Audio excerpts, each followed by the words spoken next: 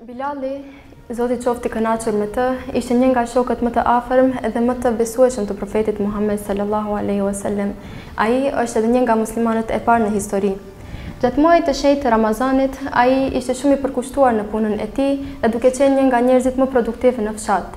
Ai në të njëjtën kohë ishte gjithashtu edhe shumë i vëmendshëm në punën e tij dhe ishte i kujdesshëm për të mos e humbur qoftë edhe një minutë nga puna e tij. Ai gjithmonë vepronte me një plan të detajuar për ta menaxhuar kohën e tij për punë dhe ibadet.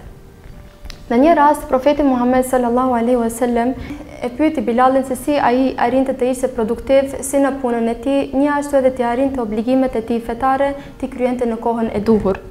Bilali iu përgjigj se puna është një ibadet nëse kryhet me qëllim dhe me kujdes dhe se Allahu i Madhëruar nuk e humb atë që bëhet me qëllim dhe me kujdes.